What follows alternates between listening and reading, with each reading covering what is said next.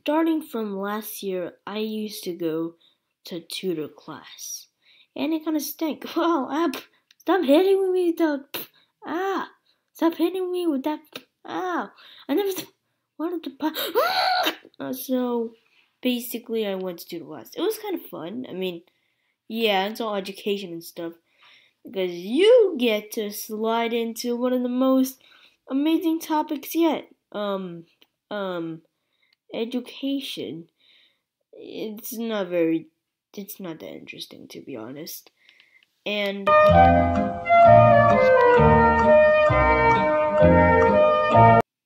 Or it's just really bad.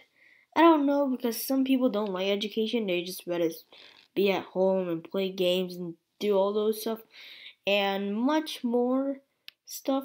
And I know I would. Okay, okay, have mercy, please. Okay, here's some cash. Here's some cash. You like cash? Okay, or oh, how about more cash? How about more cash? Just don't Alright, so, um, well, there's this one kid. He's four to five years old, and he's at my tutor class, and he's just really fat. He's really fat, super fat, and he doesn't do his work. I think that he deserves this trophy, and he should keep it. And because let me tell you some things about him that you might want to know.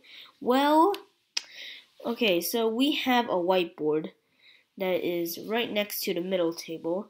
And yes, by the way, my group is at the middle table, and those are the two seats I sit. So I'm really close to the whiteboard, so I can, in, like, almost reach the whiteboard. And then after that, I saw somebody drawing weird looking animals, and that's how I met him. But not because of that trophy. Here's the reason why. He just goes and runs away, and then he starts drawing on the whiteboard without permission. He didn't even finish his work. Incomplete work. And then after I starts drawing, and that really pisses me off. What even pisses me more often is that when I draw or when somebody draws on the whiteboard, he erases the drawing. Like he's some kind of king or somebody special about the whiteboard or something and they're just really annoying. One time he used a pencil, and after that he put into an electric pencil sharpener, and then he kept it there. And it then started doing the whir like really loud. I had to cover my ears, and I couldn't do my work. Also, and yeah, he got in trouble sometimes because of me. So I told the teachers, and the teachers told him. So sometimes he had to draw on paper, and I'm actually kind of grateful of that. One time um, I told Maddie, one of my friends, that I went to tutor class, and this is what he responded back to me. Oh, sorry, I was thinking of an insult.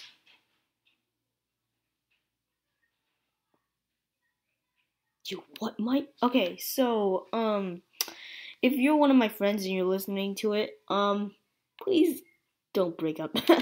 because I know, yes, I go to tutor class, I'm not very smart, and well, um, just don't. Okay, I know. Yeah, you can. I mean, I was actually kind of scared uploading this because I thought maybe after uploading, people think I'm an idiot because they go to tutor class and stuff. So please don't call me idiot. I know I've. I mean, really, I don't need a tutor class actually. I mean, I'm just good without it, but my dad and mom is like, well, um, uh, just to experience your learning and upgrade it to 100% the max, then I'm going to send you to tutor class. Kind of sucks. Because uh, you're going to do about like, um, 42 pages a week. So that stinks kind of. Some people think that it's just nothing, but eh. For me, it's pretty, it's a pretty big deal. I know I've started last year and I've done 42 pages a week, and people think, oh, that's not a problem for you, right? Well, it gets more harder and harder every time when you stay longer, so yeah. I used to go to abacus, abacus class, which is abacus is one of those. Um, you can search it up at Google search. It's called A B A C U S, And a long time ago, I used to play with it, but now I don't because it's just pretty useless to me. I, I don't see why learning that is a thing. Plus, we get to pay extra money for it, so we canceled it. And yeah, uh, thank you for listening. Have a good day, and see you laddies later.